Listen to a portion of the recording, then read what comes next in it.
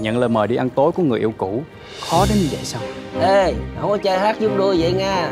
Tôi mấy kiếp mới được nghe người ta ca giúp đuôi đó. I'm your wife.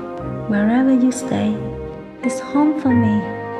Khánh ước gì khi về già Khánh cũng có một người luôn bên cạnh Và chăm sóc cho mình.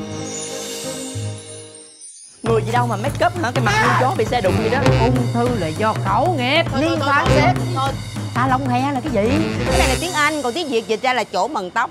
Đâu phải tại em Lỗi của định mệnh. Mỗi ngày một bó hoa cho cuộc sống thêm tươi vui. Sến quá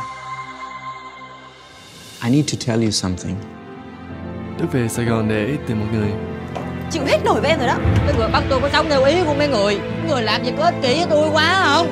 Anh tưởng một mình anh yêu em và muốn gây dựng hạnh phúc với em à? Ông về liền đi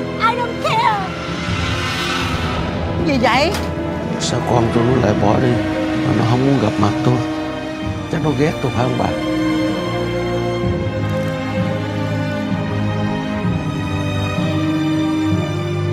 Dễ xin lỗi con. Em có thể cho anh một cơ hội Để bắt đầu lại từ đầu được không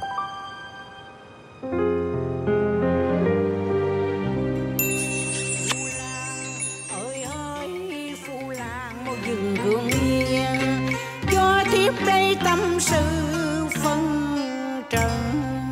Ủa phải Thấy không?